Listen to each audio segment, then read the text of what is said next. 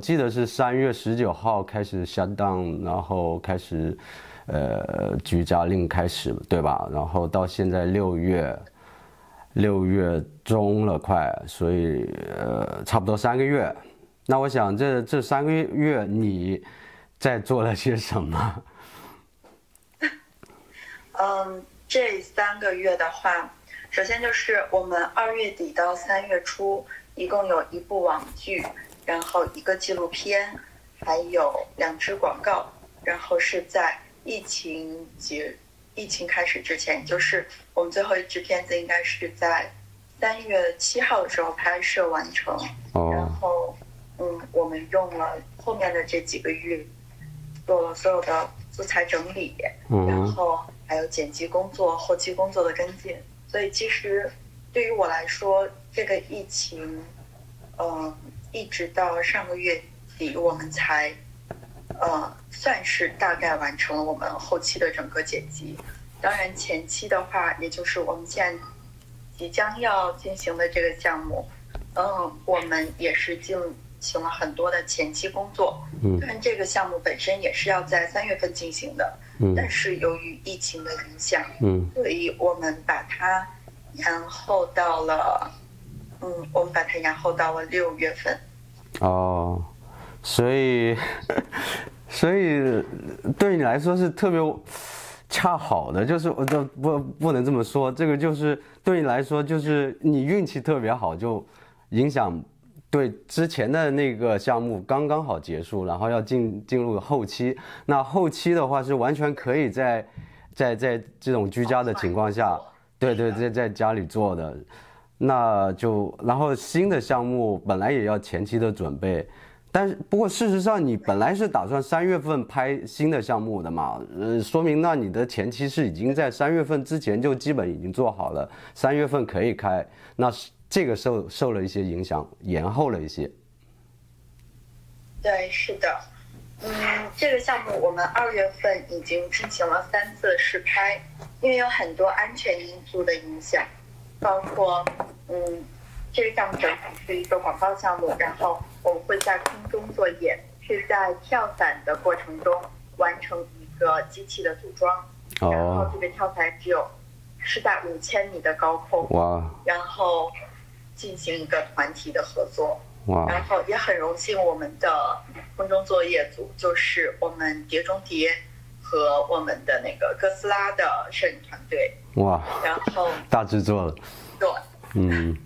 不是大制作，但是人员很荣幸跟嗯。嗯好莱坞的专业团队进行嗯一次很好的对接，然后还有经验的交流，嗯，在这个过程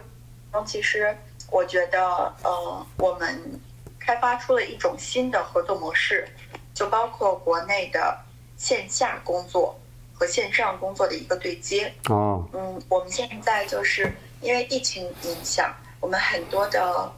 嗯，客户都是由中国武汉会过来的。哦，是吗？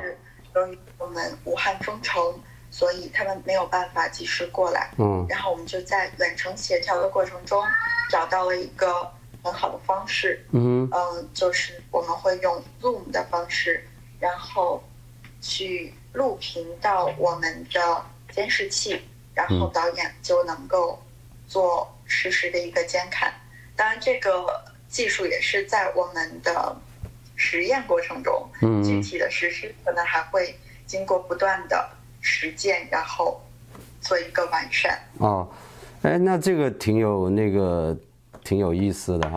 也就是说，导演在国内，然后拍摄演员啊，什什么那个呃，就是说剧组的其他除了演员啊不导演之外，都在这边，所以他就来。那个监控他来看，嗯，是除了除了我们美方团队，其实所有的团队都是在国内，包括导演，包括摄影，嗯，包括所有的客户，嗯，还有我们的商家，他们都可以在线上实时观看到我们每一台机器的拍摄屏幕所呈现的一个感觉，就像在现场，嗯，太厉害了。那个希望你们那个磨合成功，然后那个 也刚好，其实这个问题是我下一个问题要问的，就是说啊，在这一段时间你是不是会做了一些改变啊，一些调整，或者说一些新的尝试？那你还真的是没有浪费一点时间，这三个月你一点时间都没有浪费的感觉。嗯，其实这三个月当中。嗯，也会做自己的一个完善，因为之前很多网站上啊，或者说是我们自己的频道线上，还有新片场都没有得到一个我们项目的及时更新。然后在这个过程中，我们也更新了很多我们之前嗯上线过，但是还没有来得及跟大家展示的作品。哦，所以呃，还有就是 YouTube 是吧？做了一个呃自我的调整。还有那个你们的 YouTube 频道，呃，channel 也是，好像最近你也是在呃不断的上传一些作品。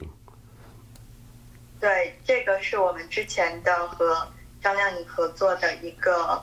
旅行纪录片，嗯，然后是关于音乐的，嗯，我们走了美国很很多个比较著名的城市，当然也呃很感谢美国国家。旅游局提供的这个路线图指导和嗯。嗯美国国家旅游局的一个帮助，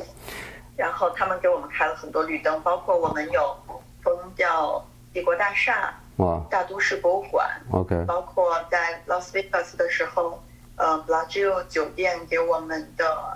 呃赞助，他们把整个的音乐喷泉给我们劈开了一个我们专业拍摄的地方，嗯，然后我们自主选歌，嗯，然后他们可以。根据我们选的歌曲，给我们放音乐喷泉的配乐。哇，太酷了！